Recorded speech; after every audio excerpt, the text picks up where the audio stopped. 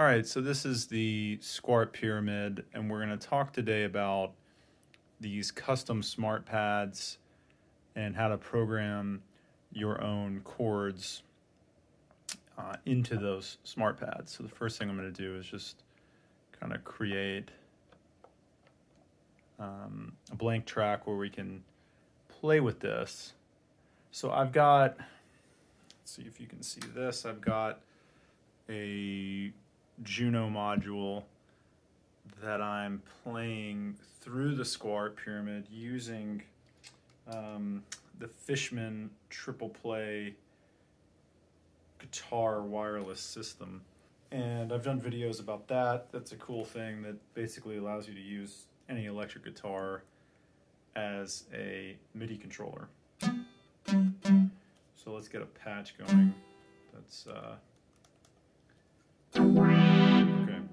There you go, patch on the Juno. So now, if you're familiar at all with the way the smart pads work, basically in live mode, you can use these bottom pads as either like a scale chromatically, as a repeat, or to play chords. And the built-in chords are pretty basic, um, normal stuff. Like here's a C major scale, and as you can see, C major, um, C major, D minor, E minor, F major.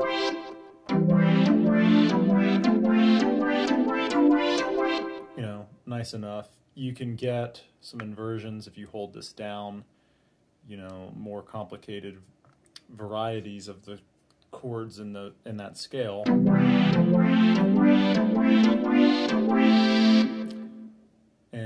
You can get kind of the weirdest is like these blues chords. I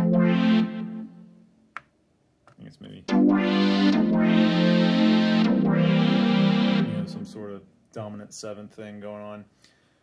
That's cool, but what if you want to make your own chords, especially for me, if you're playing like guitar chord inversions and you want to, you know, get them into the sequencer on these pads so that you can then work with them there, it's uh, a really nice thing. So the way you do it is you hold down live and just turn the main encoder until you get to a custom chord and you have the ability to make I think it's 32 total because you can make eight um, custom smart chords through four banks. So you have the ability to make 32 total custom smart pads. That's in the manual. But let's just go through how you do it. Basically what I'm going to do is play a chord on my guitar And that's just like an E minor triad, and I'm doing that, you know, because I've got the Fishman system running into this. I'm playing that on my guitar.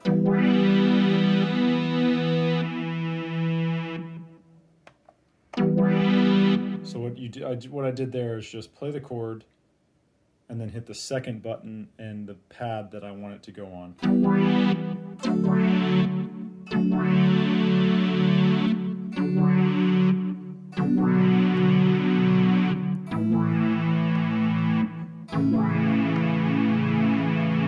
Okay, so now I can move on to something else, but I've got those particular inver inversions and I've also got them laid out in like a progression. So it's very simple to go. I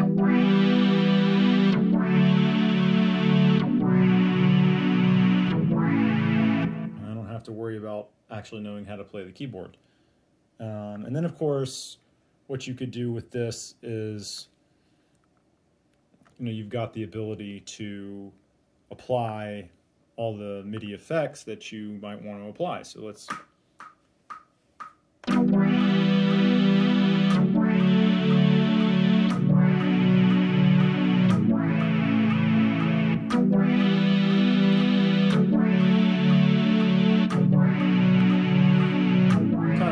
so let's bring in the